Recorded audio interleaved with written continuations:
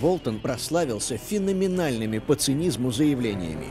Большая ошибка придавать какое-либо значение международному праву, даже если это может показаться соответствующим нашим краткосрочным интересам. В длительной перспективе на международное право ставят те, кто хочет сдержать Соединенные Штаты. Это он заявил, что в здании ООН нужно снести за ненадобностью десяток верхних этажей, где сидят какие-то, цитата, «никому неизвестные страны». И именно его считают человеком, который придумал знаменитую провокацию с пробиркой, где якобы содержались споры сибирской язвы. Болтон убедил Буша начать бомбардировки Ирака. На мой взгляд, э, именно он был э, человеком, который насыпал вот эту самую пробирку, э, заполнил ее зубным порошком и передал Колину Павлу. Автором э, провокации, которая сейчас называется «Дело Скрипалей», является тоже Джон Болтон. Highly likely. Американская пресса пишет, Болтон – это приглашение к войне, возможно, ядерной. Болтон считает, что Соединенные Штаты должны трансформировать весь мир в соответствии с американскими интересами и ценностями, полагаясь на американскую военную силу. А вот еще один человек в окружении Трампа. Новый госсекретарь США Майк Помпео. Тоже очень известный. Майк Помпео 8 лет был членом Конгресса США. С приходом Трампа он возглавил Центральное разведуправление, а в марте занял пост госсекретаря. Помпео ястреб – сторонник жестких э, односторонних действий, наплевать на международное право, наплевать на мнение союзников, партнеров, наплевать на международные организации. Главное вот реализовывать американские приоритеты.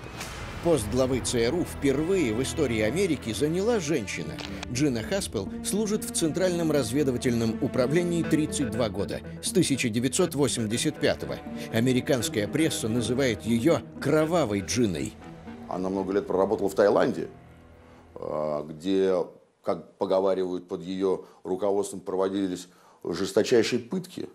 И когда это все всплыло наружу, когда президент Буш был вынужден это признать, а, именно она отвечала за уничтожение всех архивов, видеодопросов, где это все а, собственно, все эти зверства были запечатлены. Джина Хаспел руководила секретной американской тюрьмой в Таиланде под названием «Кошачий глаз», где содержали подозреваемых в терроризме. Она лично приказала уничтожить почти 100 записей допросов. Американские сенаторы и правозащитники заявляли о существовании секретной программы тюрем и пыток под руководством Хаспел. В ближайшее время в Германии должен быть выдан ордер на ее арест, тем самым э она рискует после того, как она закончит карьеру разведчицы, проблематично передвигаться по планете Земля. Болтон, Помпео и Джина Хаспел входят в число самых опасных и непредсказуемых политиков на планете. Но вот этот человек опасней всех. Перед вами новый глава Агентства национальной безопасности генерал-лейтенант Пол Накассоне. Трамп фактически какую тактику он будет реализовывать вместе с Помпео и а, Болтоном. А, это называется стратегия безумца. Нас ждет усиление сдерживания России, ужесточение антироссийских санкций, усиление гонки вооружений. Свое выступление в Конгрессе Накасоне превратил в шоу. Он обвинил предыдущее руководство АНБ, ключевой спецслужбы США, в некомпетентности и обещал превратить агентство в, цитата, «наступательное оружие первого удара, направленное против России». Накасоне собирается объединить АНБ и киберкомандование Пентагона – Главная задача новой госструктуры уже определена – борьба с Россией, Ираном, Китаем и Северной Кореей. Наибольшая угроза исходит от других государств. Мы изменим отношение к нашим сетям данных и к вооружениям. Это очевидно, что э, через киберпространство можно нанести э, урон такого масштаба, который сопоставим, в принципе, с э, самыми современными, мощнейшими системами вооружений. Вывести из строя электростанцию, ну, повторить Чернобыль где-нибудь в центре Европы. Все новые члены команды Трампа не раз отметились жесткими антироссийскими заявлениями. Какие реальные действия могут предпринять Соединенные Штаты? Куда будет направлен удар?